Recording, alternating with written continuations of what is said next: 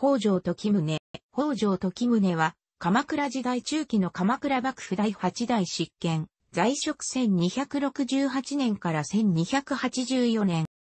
鎌倉幕府執権職を世襲する北条氏の着流独創家に生まれ、世界帝国であったモンゴル帝国、大願朝の圧力が高まる中で執権に就任。内政にあっては、特捜権力の強化を図る一方、モンゴル帝国、大願朝の二度にわたる侵攻を退け、現行、戦前までは日本の国難を救った英雄と評された。下には、生後位した相模神。増樹一位。県庁三年、1251年5月15日、相模国鎌倉、足立市の天縄邸に生まれる。長兄に、宝珠丸、後の北条時助がいたが彼は、側室の子、諸子であったため、聖子吹が後継者に指名された。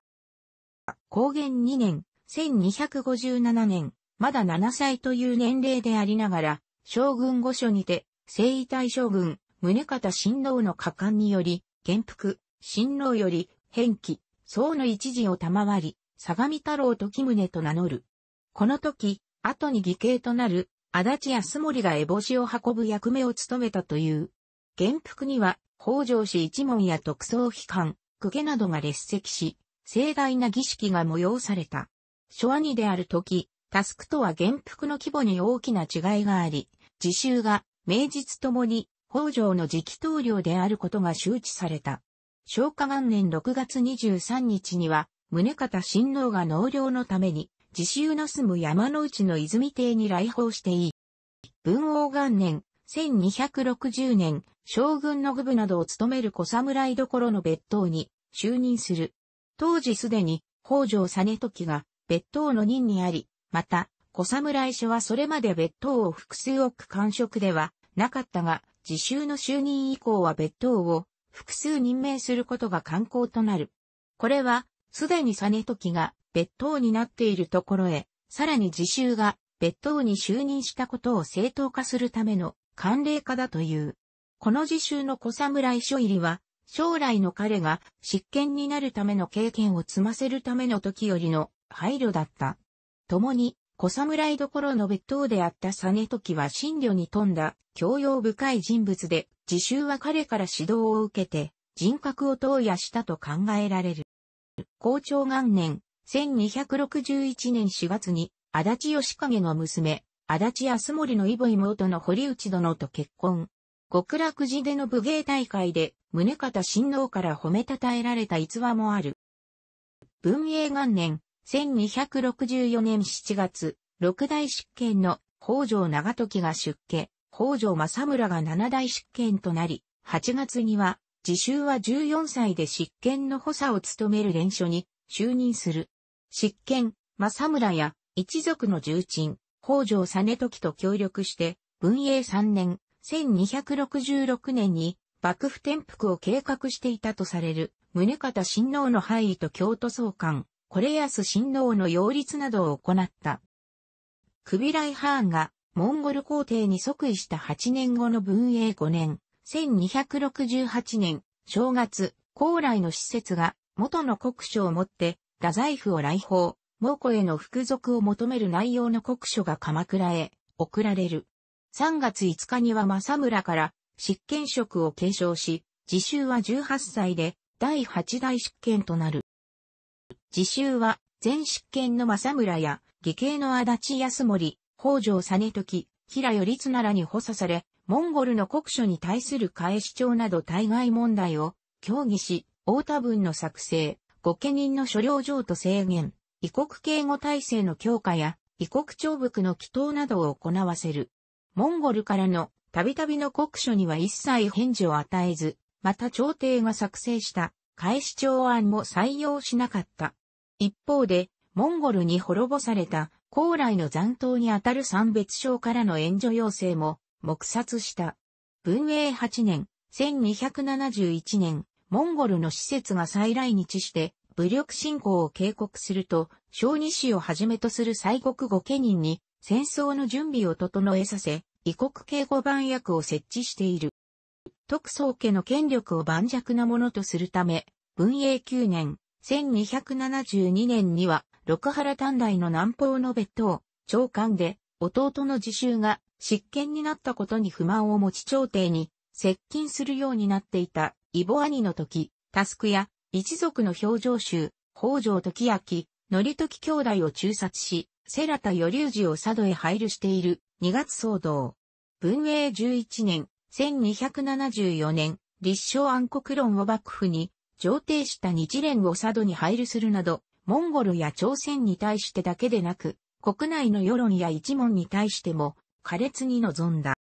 文永11年、1274年、元軍が日本に襲来した文永の役、いわゆる元寇である。激戦の末に、元軍の内陸部への進撃を阻止した。翌年、降伏を進める施設と聖中らが来日すると、鎌倉で隠見し、連署の北条義政の反対を押し切って処刑する。天智3年、1277年に義政は、ほどなく、連勝辞して出家するが、公安6年、1283年に、北条成時が連署に就任するまで連署は空席となった。公安2年、1279年に来日した修復ら施設団も太宰府で処刑させた。これらの処刑には元への自行動の意図もあった。自習はじめ幕府の首脳陣は自ら高麗出兵を一時は命じたが、軍事費などを勘案した末に結局は中止となった。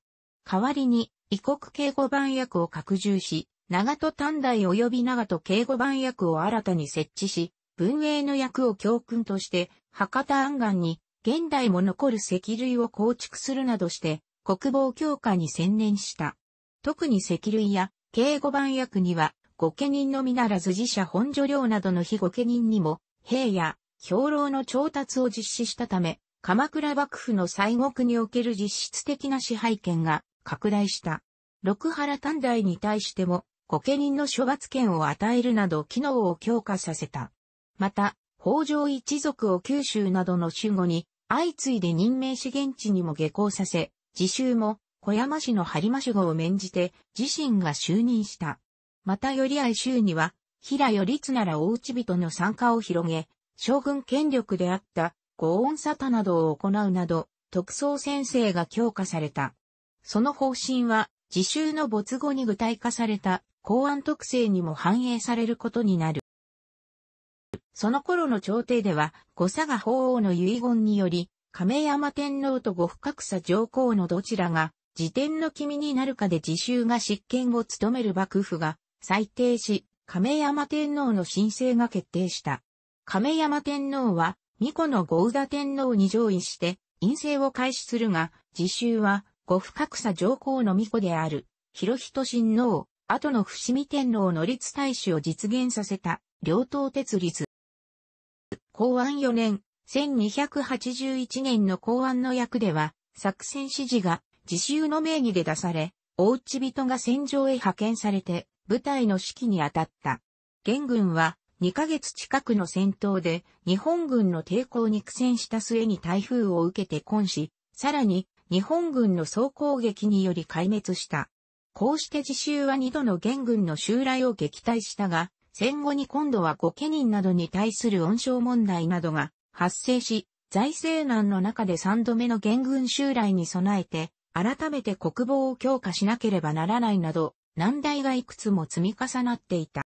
公安7年、1284年には、すでに病床にあったとされる。自身の死期を悟ったのか4月4日には出家し、同日に34歳、満32歳で逝去。自らが開いた鎌倉山の内の隋、鹿山円覚寺に葬られた。死因は結核とも心臓病とも言われる。自習は前週に敬するなど信心深く、特に前週は、父の時よりと交友のあった、蘭慶、道高、南宋から来日した骨案船大宮少年などから教えを受けていた。蘭慶道高が死去すると名士を招くために中国に使者を派遣し、無学祖元を招聘する。祖元が解散した鎌倉の円覚寺、鎌倉市山の内の開祖となり、円覚寺を関東祈祷所とし、終わり国と三田省を寄進する。また、認証の慈善活動を支援し、土佐国大王思想を寄進したとも言われる。熊本県南小国町の満願寺に自習を描いたとされる珍相が所蔵されているが、これは自習のいとこ、血統的には、老いの北条低層であるという説が現在では有力である。また、一辺小人絵伝には一辺と出会った自習の姿が描かれている。自習は、父の時よりほど伝説や逸話が豊富ではなく、本格的に論評が風発するのは近世に入ってからであった。その自責を来賛するか、非難するかの際は表する者の史実の解釈に依拠するところ大きい。肯定的評価の多くは、牽制を振るった異的猛虎を撃退したという自責に集約され、猛虎からの通達に侵略の意図があり、死者を惨殺したことを前任する前提に立脚する。マス鏡で名君であると称賛されているほか、国学者の観点から上級の乱で三条公を島流しにした北条氏を逆賊として排撃した元織宣長も自習については肯定的に評している。水戸藩発行の大日本史三夜部では全面的に自習は来賛されている。他、来三陽も自習を来賛している。自習が形した無学祖元は自習は40年未満の障害ながらその功績は70歳を超えて生きた人にも勝る。感情的になることなく、おごることもない立派な人物だ、と、自習の三回忌の際に、三時の言葉を連ねた。中世から近世においては、否定的な評価はあまり下されることがなかったが、立花の守る部は、猛虎襲来は、朝廷潰しを意図する北条氏と猛虎が結託して、行った自作自演であると仮定して、自習を弾劾してる。しかし、主部のこの評価は、口頭無形に過ぎるとして、あまり顧みられることはない。守る部がかような口頭無形な陳説を提唱した背景には、主部の元織宣長に対する反感が沈潜していたと指摘され、幕末、諸外国との折衝で紛糾し、尊王上位の気風が高まるようになると、俄然、自習に対する来賛は傾向を強めるようになる。明治時代には、現行受難者への追贈で自習にも11位が追贈され、ゆち武雄によって現行記念碑が設立された。太平洋戦争の頃になり、広告士官が固推されるようになると、自習に関する論考は一層盛んになり、評伝などが数多く書かれた。太平洋戦争で日本本土が攻撃されると、強大な外敵からの侵略に断固として立ち向かった自習の姿勢を肯定的に捉え、来賛する風潮が生まれた。戦後においては、実証に基づかない左翼士官が蔓延し、その反対の評価が出されるようになった。防類の築造をはじめとする猛虎への対策は、日本帝国主義の原点であるという評価さえ生じる、うになった。上横手正隆は、結果的に日本防衛には成功したが、多大な犠牲を払って徹底抗戦したその姿勢が本当に適切だったかどうか、疑わしいと評し、無学祖元による賛辞も、この手の前奏の言葉は空祖として、額面通りに信用することはできないと述べる。猛虎の死者を残首に処したことについては、国際観光を無視した蛮行と評した上で、死者を残首しなければ、公安の役は避けられたかもしれないと自習を非難している。しかしながら、この上横手の指摘は誤りで、残首の知らせが元に届く前に、クビライは日本征服の野望を表明し、戦艦の造船を開始しており、また、死者の残首の知らせが元に届くと、元では、町議の結果、この件に関しては迂闊に元から反応を示さないことに決しており、死者の残首と公安の役の発端には何の関係も見出せない。